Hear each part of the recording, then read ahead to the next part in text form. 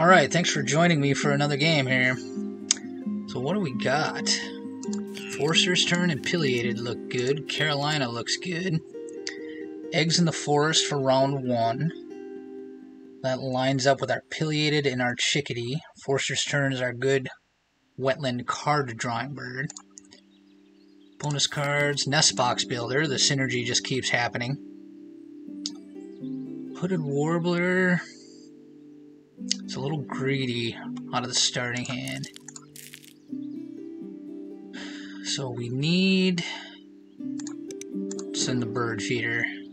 No fish. So let's keep the fish. Is there a cherry? No cherry either. That's kind of a bad situation to be in here. So I want both of these. I want the Forster's Tern. It is a cavity nest. I want all three of these birds.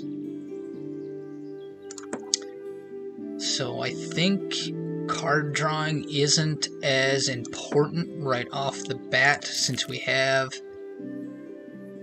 our chickadee and our pileated. We'll get those down. We'll gain food and eggs. We'll try to capitalize on our woodpecker before our opponent can get a cavity nest on the board and then we'll worry about playing the Forster's Tern and getting extra cards. So with that, we'll start. Alright, so we're going to play our Chickadee. We'll lead with that.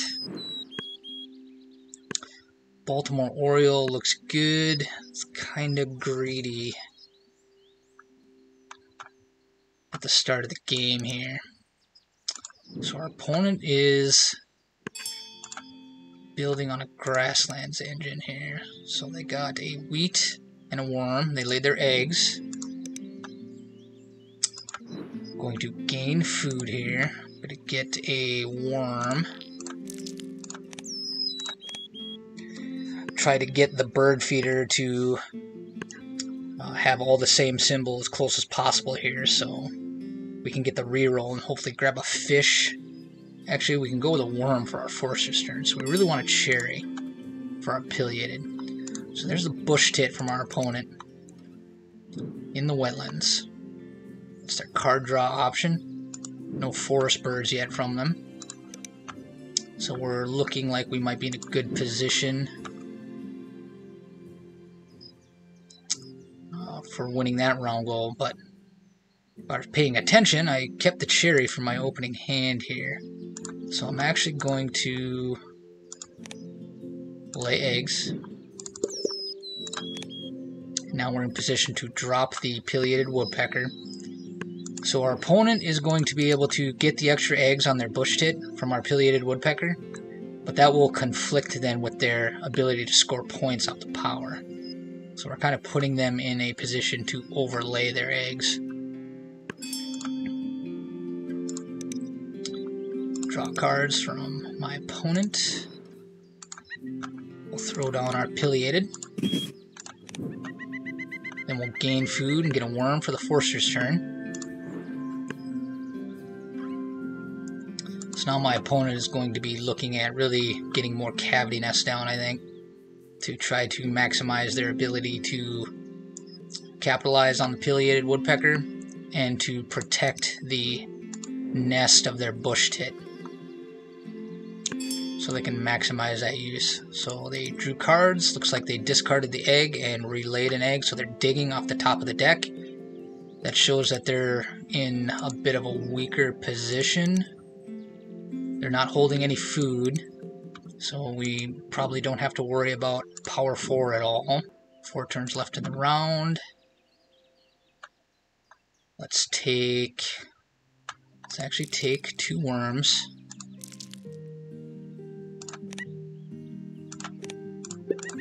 Lay eggs, get the cached food. So they drew cards again. So they're really digging. They're probably digging for a good forest bird, but they have the towhee for their food generation, that grassland, so it's kind of a it might be in a difficult position there. Let's continue to fill up on eggs. Let's take the wheat for diversity. We'll re-roll the bird feeder. Let's take the worm. To kind of stranglehold the bird feeder here.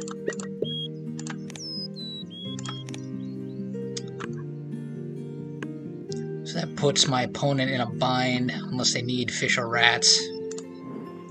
And they just are able to draw the single food because they have no birds in their forest. So they did take a fish, singular food, filling up quickly on their bush tit.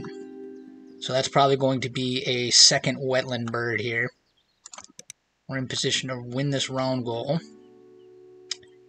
Two turns left. Probably going to grab, I'm going to play the Forster's Tern, and I'm going to grab that Oriole. I think I'm going to chuck the extra egg because we've just got so many in our forest that my opponent can't catch up to us at this point. There's Willet. Not too concerned about that. Let's draw the Oriole. Let's hold off on that actually. Get rid of the egg on the chickadee.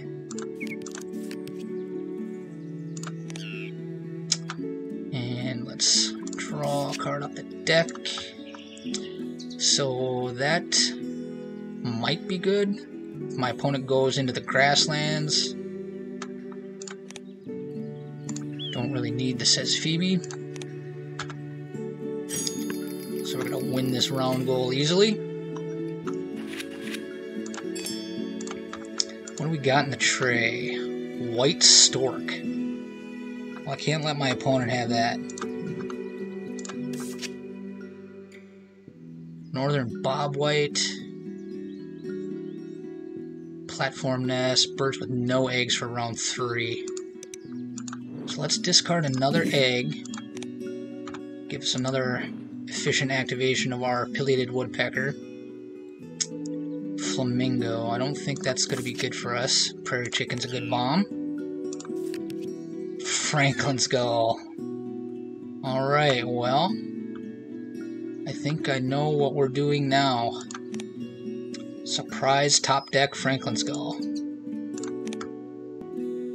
So now I'm going to get a fish out of the bird feeder. I'm going to get two fish actually, and I'll have the food for Franklin's gull, Franklin's gull and white stork. And they play Carol, Cal, bleh, California, not Carolina, California condor in their wetlands to build out their wetlands engine. Uh, we're really looking to be in a very strong position here with this white stork and Franklin's gull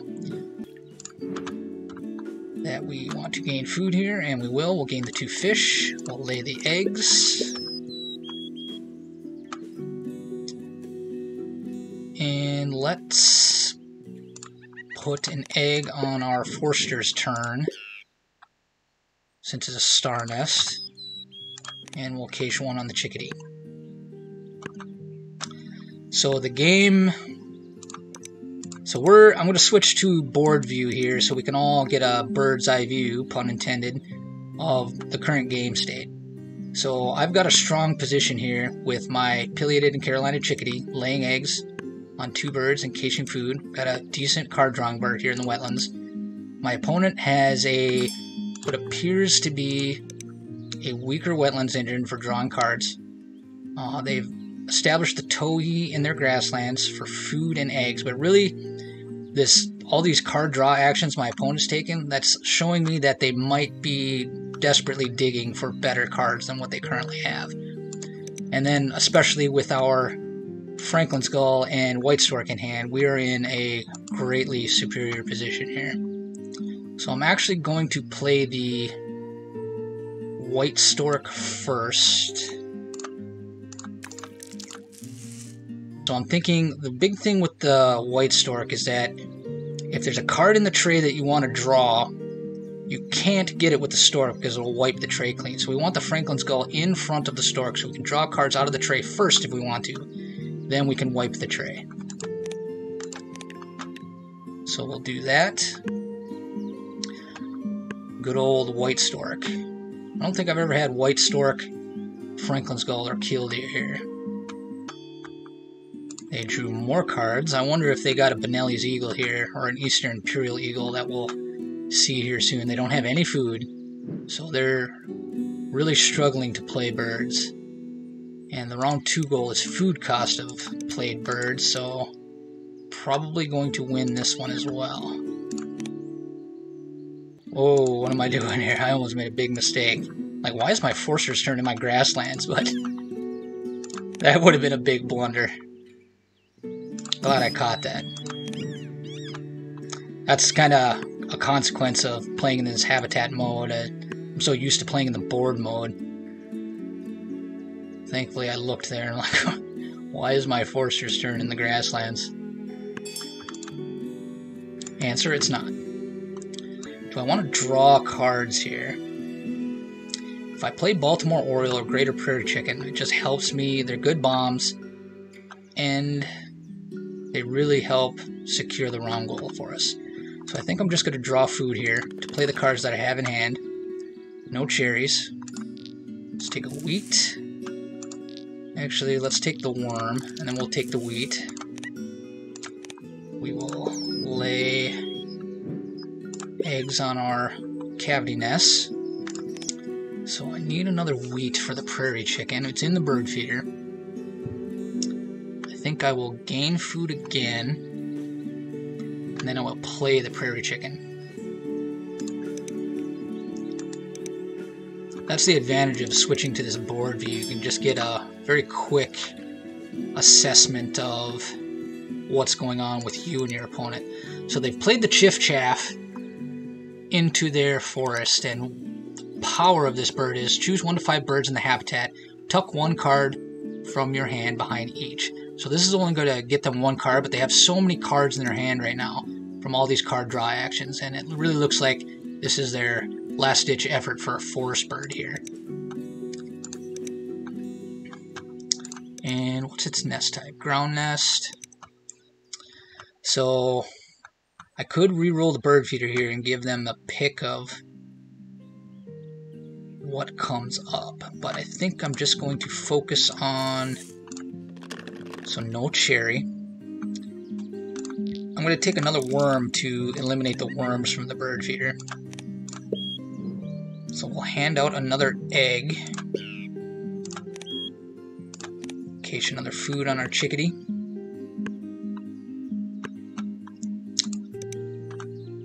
So they're going to be, they're going to chuck a card for a food, gain a food, and they're going to tuck a card behind their Chiffchaff. So all those extra cards they drew, they're going to convert those into food and points here. And that's a pretty solid play given the position that they're in right now. They have an overabundance of cards and a severe lack of food. So they actually drew cards here. So we're in position to really win the round goal. They don't have any food. I really wonder what they're digging for here.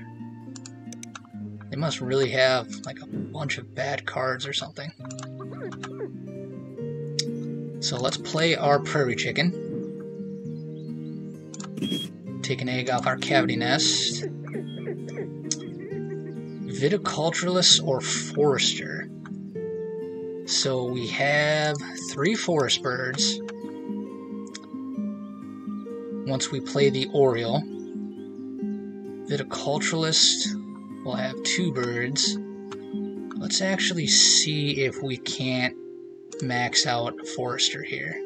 Because we'll get four points once we get the Baltimore Oriole down. And then we can draw a bunch of cards off our grasslands and see if we can't get our fourth and fifth forest birds. So we pull way ahead on the food cost of our birds. Unless we see a cherry come up in the bird feeder, I might just go for that, because we definitely want to play the Oriole. So they took the rats. So the round three goal is birds with no eggs, so that actually plays against our grasslands engine and our pileated woodpecker in the forest, so we may just choose to ignore this round goal because our engine is just so good. So I didn't pay attention to what they drew out of the tray. We see a Moltoni's warbler here. Eurasian collared dove. I could spam a bunch of food, but I don't think we have a strong enough forest engine to really support that at this point in the game. Moltoni's, I don't think we're going to make good use of that. Horned lark, not really what we're looking for. Baltimore Oriole will also be our fifth cavity nest bird, so we got to keep an eye out for more cavity nests. I'm actually going to, I think, re-roll the bird feeder here. Let's switch to board view and get a quick assessment of what our opponent has going on. They've got two rats and not much of an engine to speak of in any of their habitats. So I think I'm just going to go for the cherries here. And one more time, switching to board view. They have one egg left, one space open on there. Bush tit. I don't think I care about giving them another egg off the pileated, so let's hope for some cherries. We got one. Let's take a worm. We'll lay eggs like so.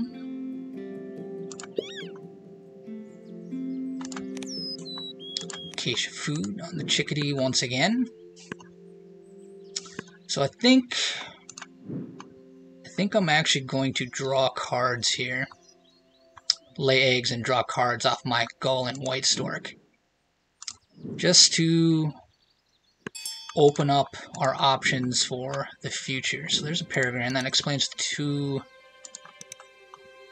rats. They're building out their grasslands, so they're actually birds with no eggs. Switching to board view again. They're going to run their grasslands. They're going to fill up on eggs, and we may be able to actually compete for this round goal. Switch back to the habitat view here. So, let's see. Keep the eggs on the prairie chicken. Don't skip. Let's chuck an egg there. Draw off the deck. There's a forest bird. Cup nest. Let's see what comes up in the tray. We'll take the scissor-tailed flycatcher because it's a big bomb. And we actually have the food to play it. So that worked out really well. And then we'll burn the eggs off the prairie chicken. So that'll give us another bird with no eggs. They laid their eggs. A little late for black-throated diver. Play the scissor tail.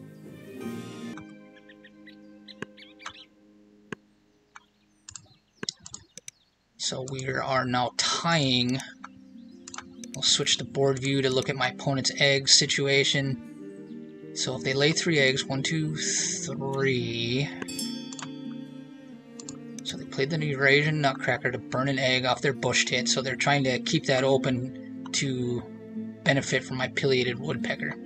So it looks like my opponent is going to try to build out their forest engine here to try to capitalize on the Chiffchaff and convert all those cards they drew in the beginning of the game in the first half into points in their forest engine. So let's lay eggs. We got three turns left. I'm gonna switch to board view again quickly to look at our egg situation. So we need birds with no eggs. So I think we're just going to ignore that round goal because it's just really playing counter to what we're trying to accomplish here. So the little owl is a cavity nest, but it's not a great bird to begin with. I could play it burn off two eggs. But I think I need to get the food for the Baltimore Oriole.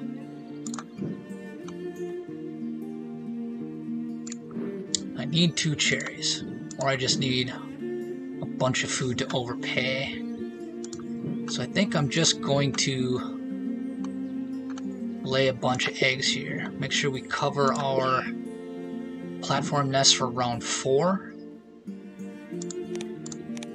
Actually, let's just keep as many birds open as we can and just see if we can't pressure this round goal. Put them here on the platform nest.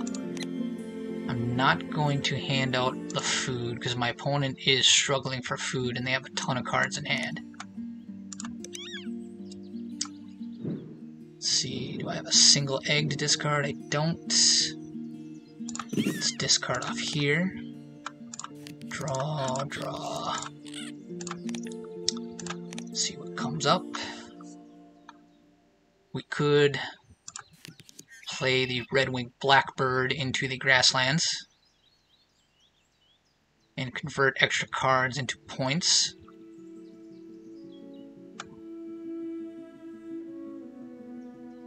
I think we will do that.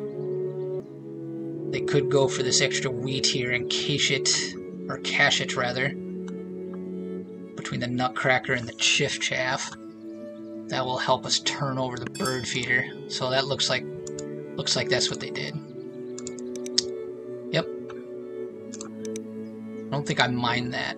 I think we're way ahead on our game. So I want two cherries pretty badly. Hold on to this blue jay because it might be our fifth Forester bird. So let's flip that. We got our cherries. Switch to board view. Our opponent has their open bush tit. I think I'm going to skip the pileated because our grasslands is so strong here. We're fill up, filling up on eggs really, really quickly. Two eggs, but... They laid eggs look at their egg situation here. So they threw one on their bush tit, it looks like. So let's take a wheat and the worm for our Oriole. We'll skip this. Cache. Cache. So used to saying cache. So we lost that round goal as planned. What's in the tray? Godwit is pretty dang good. So let's lay eggs.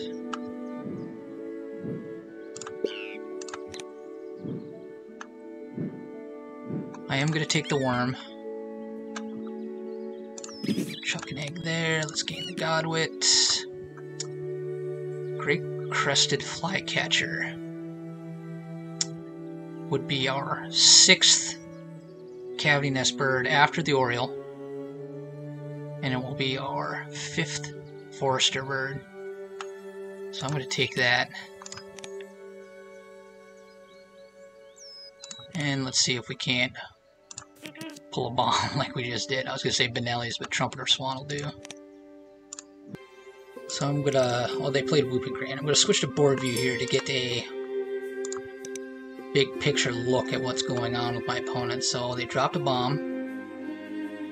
They're probably just going to either lay three, four eggs here, or uh, score four points, but lay three eggs and hopefully get a tuck off their falcon, or they could tuck cards and hopefully draw and cache cash wheat with the nutcracker.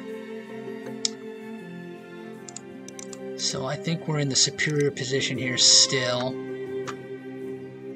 So let's go with Baltimore Oriole. And we'll get rid of an egg on Pileated. Alright, so our flycatcher is 5 plus 4 here. Well, actually, I'm a bird behind, not Forester, aren't I? I am.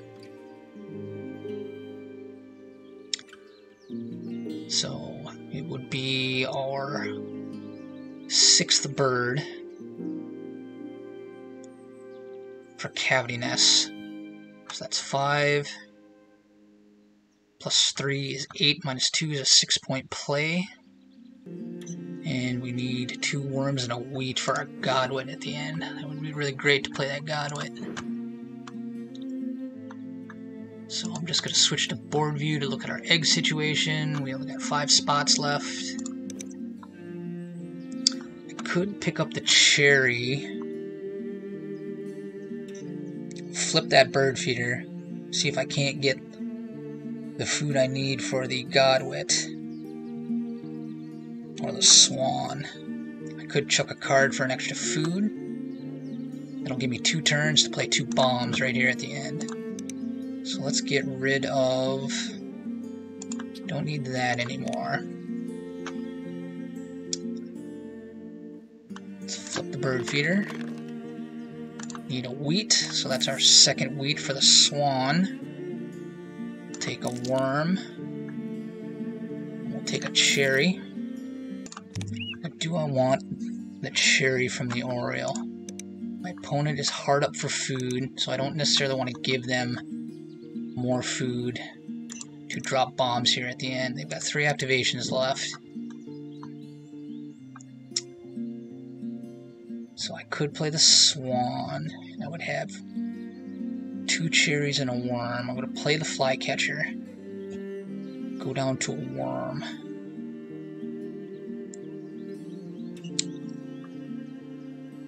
So we're going to skip the cherry.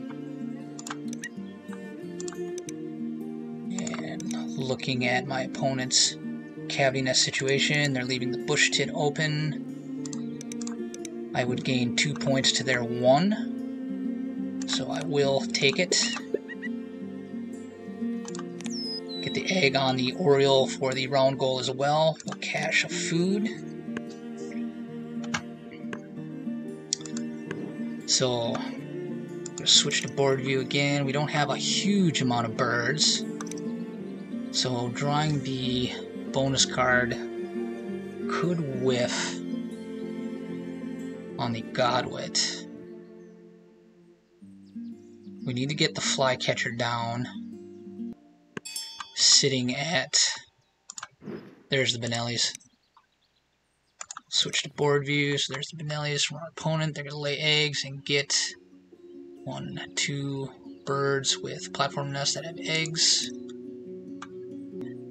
nest box builder. That's why we wanted to play the flycatcher. That'll be our sixth bird there.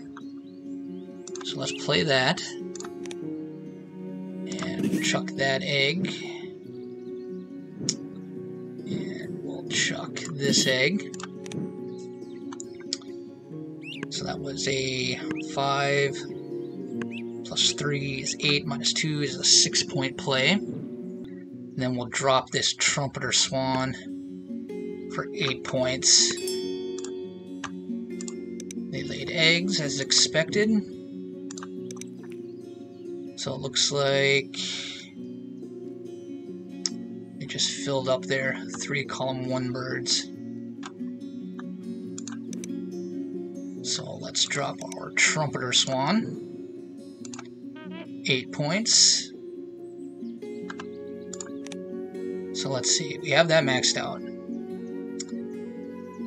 If we play Blue Jay, that's 3 plus 4 is 7 points minus the 2 from eggs. So that's 5. So it's better to play our Trumpeter Swan here at the end.